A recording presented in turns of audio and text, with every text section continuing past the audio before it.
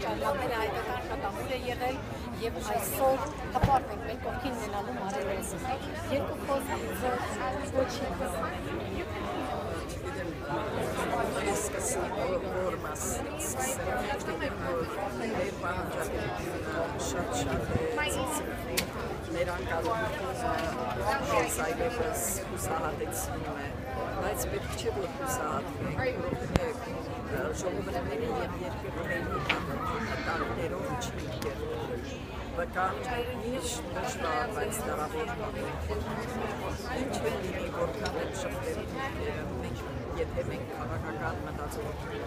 ձեր դերով բազի դառնանք, մենք պիտի օգտվենք քաղաքական վայրի վերումներից, որ աշխարհում միշտ լինում են, եւ այդ վայրի վերումները մեզ պիտի օգնեն եւ մեր տարածքներին դիրանալու եւ մեր ունեցվածքին։ Միայն կարևորը այն է, որ մենք այլևս մեր ցեղասպանությունը ներկայացնենք երկու երկու ստեկ մեր մեր վրա հայության վրա երկու ցեղասպանություն է դեպի ունեցել մեկը մարդկային կորուստն է ժողովրդի կորուստն է եւ երկրորդը տարածքների թուրքերը պատերազմով չեն դիրացել մեր տարածքներին եւ մեր ունեցվածքին ուրեմն պարտավոր են վերադարձնել մենք այս ձևով այս մոտեցումով այլևս մեր պահանջարկները